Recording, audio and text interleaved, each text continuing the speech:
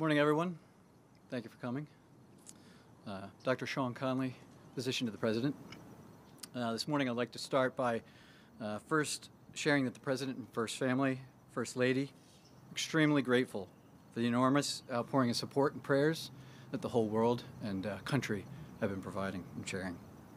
I'd like to thank Colonel Andrew Barr and all the medical and support staff here at Walter Reed for their tireless efforts, providing everything and anything the medical team the President and I could need. This morning, the President is doing very well.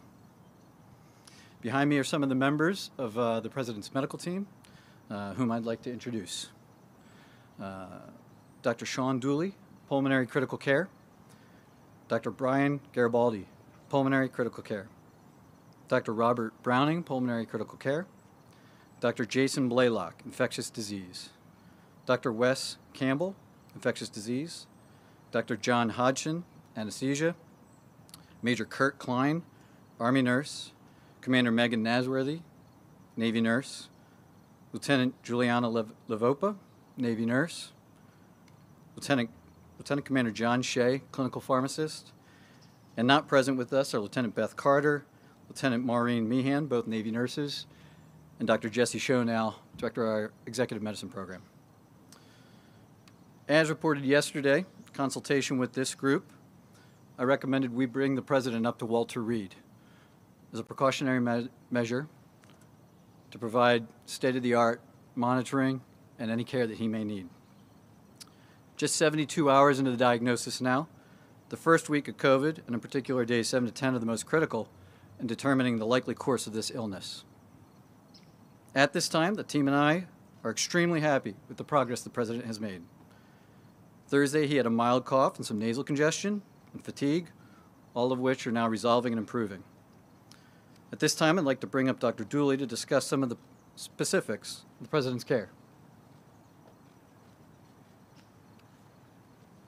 Thank you and uh, good afternoon. I'm Dr. Sean Dooley, as uh, Dr. Conley mentioned. I'll start off by uh, mentioning what, a, what an incredible, uh, how incredibly proud I am of our medical team assembled behind me uh, and the honor it's been to care for the, the president over these last uh, 24 hours here at Walter Reed. He's receiving outstanding multidisciplinary care, uh, the state of the science uh, for coronavirus infection. We are monitoring him very closely uh, for any evidence of complications from either the coronavirus illness or the therapies that we are prescribing to uh, make him better. We have monitored his cardiac function, uh, his kidney function, his liver function. All of those are normal. And the president this morning is not on oxygen, uh, not having difficulty breathing or walking around uh, the White House medical unit upstairs. He's in exceptionally good spirits. And in fact, uh, as we were completing our multidisciplinary rounds this morning, uh, the quote he, he, left us with was, I feel like I could walk out of here today. And, and that was a very encouraging comment from the president. Moving forward, I'll, I'll, go ahead and introduce Dr. Garibaldi, who will talk about some of our therapeutics and the plan for uh, plan of care for today. Thank you. Thank you, Dr. Dooley, and I'd like to echo the sentiment from the entire team. What an honor and a privilege it is to be part of this multidisciplinary unit to care for the president. Um, about 48 hours ago, the president received uh, a special antibody therapy directed against the coronavirus, and we're working very closely with the company to monitor him uh, in terms of uh, that outcome. Um, yesterday evening, he received his first dose of IV remdesivir, and our plan is to continue a five day treatment course for remdesivir.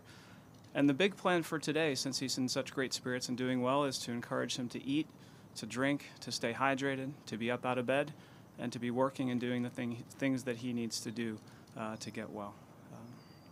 I'll refer Dr. Conley to any, any questions. Thanks, Brian. It's important to note the president's been fever free for over 24 hours.